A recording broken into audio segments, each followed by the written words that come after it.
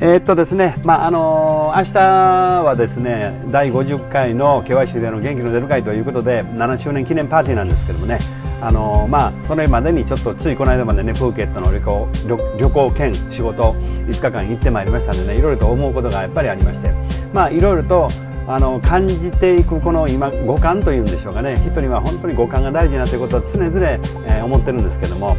えー、今日は働くということをテーマについてちょっと考えていったんですね。あの、やっぱりこのホテルなんか行くと旅行に行くとですねすごくやっぱり幸せな気分になったりしますし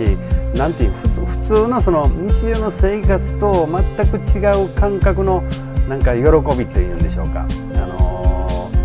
大事にされてる感じものすごい出ますよね。これだから働くっていうのはまあ、あの皆さんどんな風に感じてるか分かりませんけどもあの旅行に行くといつも思うんです。いつもも。あのあ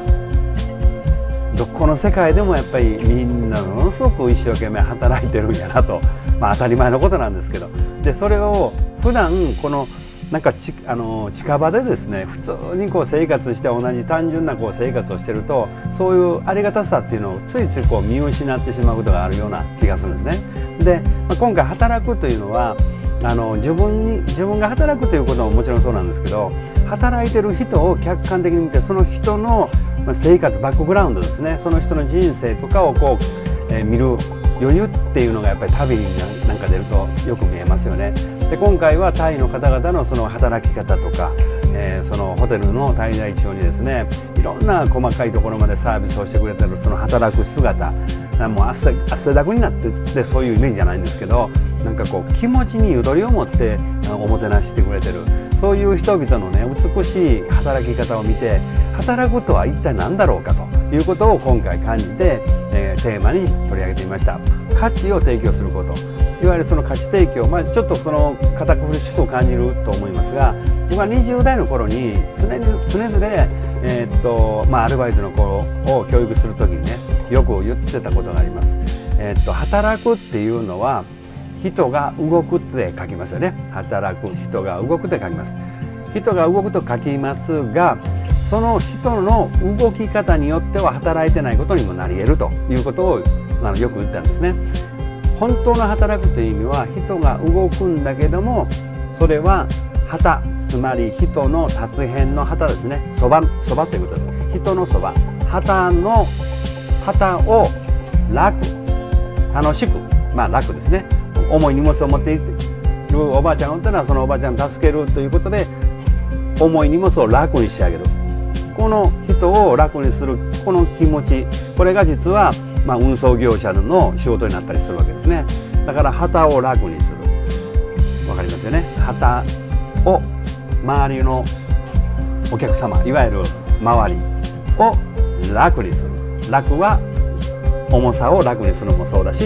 楽しくさせる。もしくは癒してあげる。音楽なんかで感動させることもこれ楽。つまりその楽が楽になってない場合旗を苦にする苦しめる旗を苦しめる働き方いわゆるいくら一生懸命僕頑張ってますって言って動いてるところで旗に迷惑をかけるような動き方したらこれは働くことにならんぞという話をよくアルバイトの高校生の方にですね僕まあその当時はですよ店長やってましたから、まあ、あの飲食店の店長やってましたからね。よくその教育する時に、まあ、そんなことを例にしてですね。よくよく自分が動く時に旗に楽になってるか旗を苦にしてないかその2つをまず考えて動き動いていきましょう。そんなような話をしたことを、えー、今ちょっと思い出してですね今話しています、まあ、人は、えー、その時もこういう話もしましたね。人はですね、まあ、ろうそくに例えていけば人が誕生した時に命があります。その命が一歩のろうそくでいうとどんどんどんどん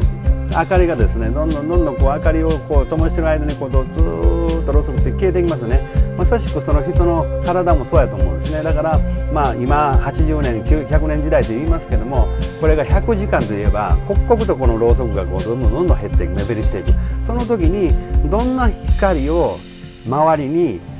周りの人を灯していけるかとこれがですね自分の生きた証であったり自分が働いた生き、まあ、働き方であったりするんではないかと。そういうことを、まあ、よく真面目にですよ。本当に真面目にこんなこの話を、えー、やってた覚えがあります。まあねあの20代の頃ですからね僕ね結構ね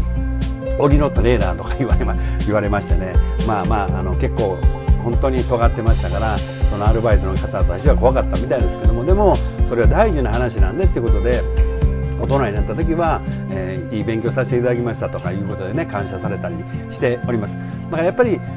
何か仕事で行き詰まったりですね迷いがあった時は僕は常にこの基本理論もう基本中の基本やと思うんです。旗を国してるサービスをしていないかいわゆる自分よがりではないか。それをまず自分でまず客観視して考える。もし今のこの時代にこのサービスをした時にこれは周りの人には価値提供になってないという場合はこれは旗苦になってるわけです。だからもちろん自分が一生懸命仕事してる働いてる働いてるって言ったところで周りが全く認めてもらえなかったら働くになってる。そういう場合は自分が働いたことにならない。ようなことを感じるわけです。タイの旅行でもそうでしたけども例えばホテルのあのホテルのまあなんていう、えー、受付とかはかっこいい仕事ですよね。でも僕はそのいろんなホテルで、ね、働いてる方々を常に観察してたんですけどまあ朝起きて7時ぐらいからもうねヤシの木とかいろんな木をいっぱいいっぱい植えてますから必ず1日経てば枯れ葉が落ちますよね。その枯れ葉を一つずつこう丁寧にこう掃除してるその、えー、姿ね。そして会えば必ずニコッと笑って「グッモーニング」って言ってくれる。もうほんでどんな人も全てそれを自分の仕事として誇りに持って、ね、やってる。あの姿を見た時にあこの人たちは自分の仕事いわゆる使命周りをどういうふうに喜ばしてあげようとか旅の疲れをあの癒してあげようとか、まあ、そういうことを常に意識しながら働いてるんじゃないかと思うような、えー、いわゆることを感じたわけです。だからよくその日本のサラリーマンの中でよく言われるのは全てじゃないですけどなんか我慢しながら生きてるとかなんかこうあの電車の中でこう満員電車に揺られても我慢しながら生きてるとか仕事してるとかってそういうことを常々言われそうですけどもでもやっぱりそうでない人はもちろんいてると思いますねだからそこは大きく分けてやっぱ働くか働くその旗を楽にするか旗を苦にするかのその考え方を